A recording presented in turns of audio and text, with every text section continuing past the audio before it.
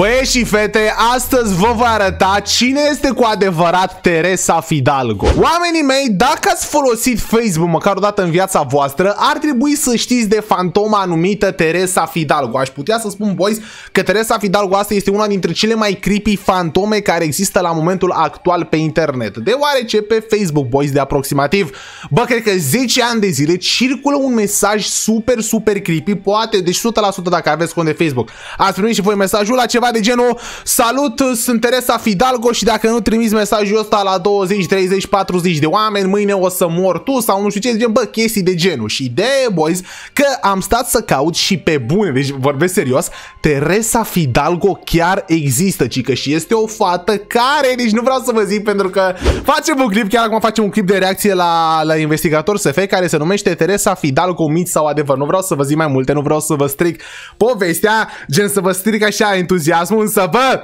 e ceva super, super creepy. Eu știam de când eram mic, bă, de ani de zile știu de Teresa Fidalgo, însă nu m-am gândit nici măcar puțin că, bă, e ceva de capul lui fata asta. Adică dacă căutați Teresa Fidalgo pe net, o să vedeți poze cu ea, știi, gen cele mai populare poze pe care le, le are ea. În fine, nu uitați neapărat să apăsați butonul de like să vă abonați acest canal. Aveți linkul în descriere de la videoclipul profesorul investigator și hai să vedem, boys, care e treaba. Mi-ați recomandat mai mult să fac videoclip despre tema asta, însă nu știam până acum dacă există clipuri pe YouTube și uite că am găsit. Hai să vedem care e treaba cu Teresa Fidalgo și dacă, pe bune, dacă nu o să trimite mesajul la 20 de persoane, o să ne omoare sau ceva de genul.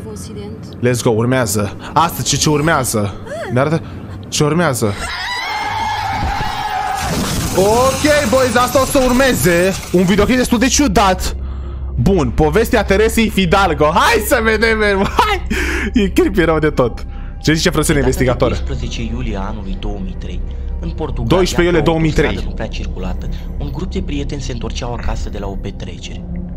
Unul dintre cei trei ocupanți ai mașinii care circula pe drumurile din vecinătatea orașului Sintra filmează conversația celor doi prieteni care stăteau pe scaunele din față. A, deci, boys, cel mai probabil, dacă îmi permiteți acum să opresc puțin, cred că e vorba despre un autostop, adică au luat pe cineva la ei mașină și era Teresa Fidalgo, cred, nu știu.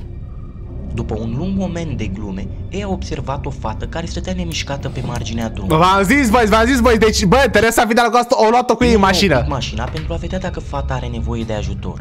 Așa. A întrebat dacă poate urca la bordul mașinii, iar cei V-am trei zis. prieteni au acceptat să o ajute. Numai că femeia nu prea avea o idee clară despre unde ar vrea să ajungă. Păi și nu a întrebat-o, gen, adică dacă iei pe cineva în mașină și vezi că e derutată, îl întrebă ce s-a întâmplat cu ultime, cum n-ai mai ajuns tu pe mijlocul autostrăzii Fata singur? era foarte tăcută. Singurele cuvinte pe care le rostea erau acolo în față, acolo în față și atât. Iar pe lângă aceste cuvinte pe care le rostea în mod repetat, fata a mai spus că numele este Teresa.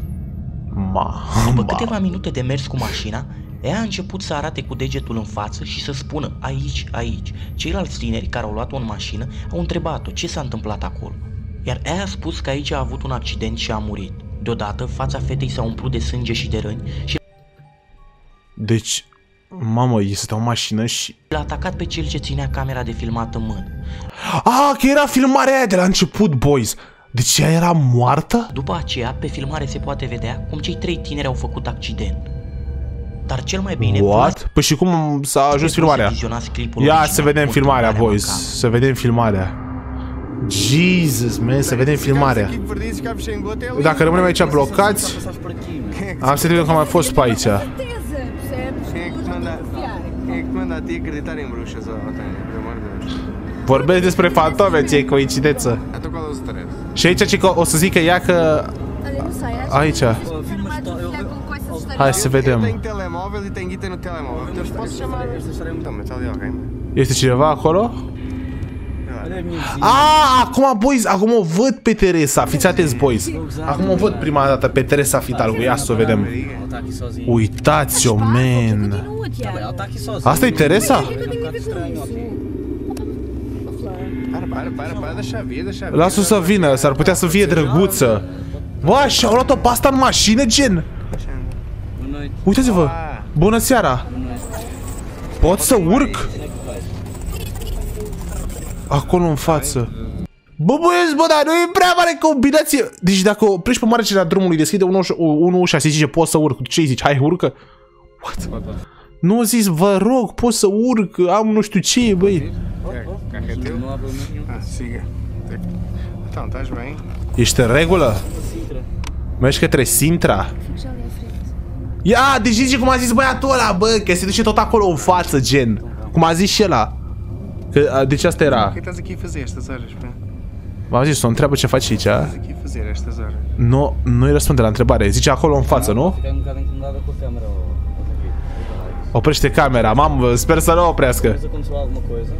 Como é que chamas? Não sei nem se o teu nome. Teresa, o cheamă Teresa. Lá atrás. Teresa Fidalgo. Și cum a ajuns ea să fie pe Facebook și toate aia?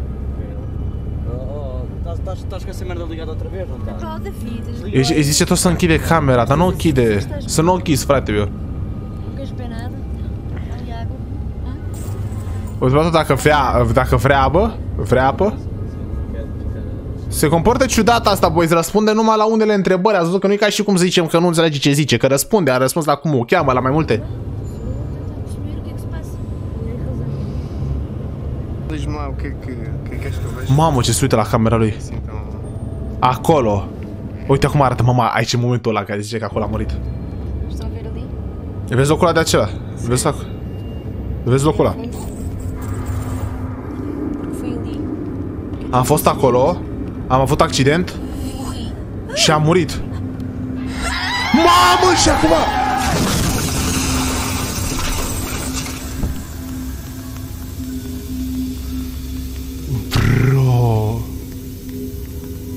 Bă... Mamă, man... Poveștile spun că dintre cei trei prieteni, un băiat și o fată au murit în urma accidentului și doar un anume David Rebordau a supraviețuit și a susținut că niciodată nu a putut să-și explice exact ce s-a întâmplat în acea noapte. Majoritatea celor ce au văzut aceste imagini au susținut că totul e fake, iar alții au spus că e adevărat, deoarece camera video cu care Nu a fost știu, înregistrată oameni. această întâmplare a fost găsită la locul accidentului. Scrieți, băieți, la comentarii dacă credeți că e adevărat sau nu. Uai, man, mamă, tralizez, bă. Deci erau și să zică ăla din mașină că el de fapt e În mort. momentul când poliția a ajuns la fața locului, David era în stare de șoc după cele văzute și a declarat polițiștilor că înainte de accident au luat în mașină o fată pe nume Teresa, iar la câteva minute au făcut accident. Polițiștii au verificat mașina avariată și toate împrejurimile, dar nu au reușit să o găsească pe această fată Teresa. Mamă, Teresa a Acest clip a plecat, fost foarte popular în bă. Portugalia și în multe alte Bă, țări, ajungând să frate, fie meu, unul ce dintre cele mai creepy. vizionate scurtmetraje. Eu sincer Bă. nu știu ce să spun. Ar putea fi fake sau ar putea fi adevărat. Însă lucrul foarte straniu este că în urmă cu 20 de ani de la această întâmplare, în anul 1983, o fată pe nume Teresa Fidalgo a murit într-un accident de mașină exact în locul unde acest filmuleț a fost făcut. Teresa, de asta e, boi, de asta Iar e după acest accident, legenda asta cu mulți Teresa șoferi au Fidalgo. mărturisit că au văzut pe timpul nopții o fată îmbrăcată în alb exact în locul Dar n-a unde mai s-a luat-o în petrecut această mașină. întâmplare ciudată. Nu? Iar pe lângă spusele șoferilor, foarte multe accidente ciudate s-au întâmplat aici. Dar n-am mai luat o mașină. Mamă, și cea că s-a terminat, nu uita de subscribe. Băi, oamenii mei, oai, deci bă, era real pe bune și creepy rău de tot, însă totodată nu înțeleg cum s-a ajuns să fie pe Facebook chestia asta, știi, cu mesajul ăla, în fine. E bine, oamenii mei, că am fost cu acest episod, asta a fost legenda, povestea Teresei Fidalgo, scrieți neapărat la comentarii dacă voi credeți că filmulețul a fost real, pentru că ați văzut că și că fata aia pe bune a avut accident și totul e real. Să scrieți la comentarii dacă credeți că filmulețul a fost real sau nu. Eu am fost Marius Iancu, vă urez o seară minunată și un weekend plăcut totodată. Să aveți grijă de voi, v-am pa pe toți, pa, pa!